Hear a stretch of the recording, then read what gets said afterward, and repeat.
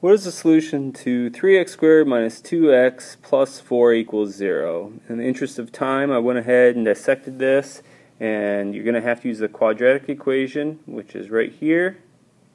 And I already took out what the a, the b, and the c would be from that equation.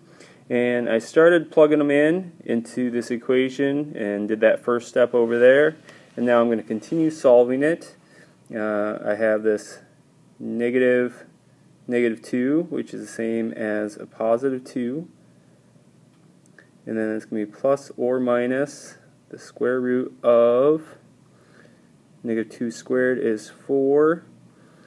And then 4 times 3 is 12 times 4 is 48. So we're going to subtract 48.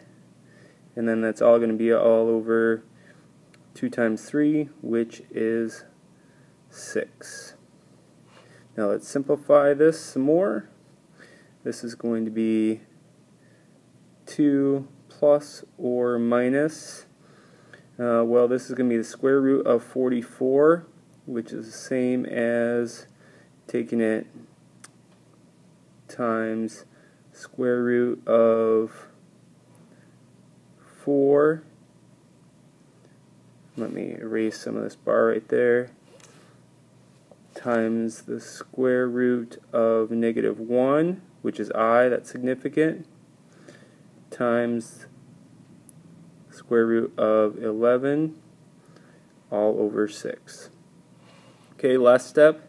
Um, 2 goes into 6 three times, so we can make that a 1 plus or minus, and then that's all going to be over 3. And, well, what's the square root of 4? up here? Well, that's 2. And square root of negative 1 is i. So 2i, but times the square root of 11, all divided by 3. And then we come over and look at our solution choices. And we see that i plus or minus 2i square root 11 over 3 is C.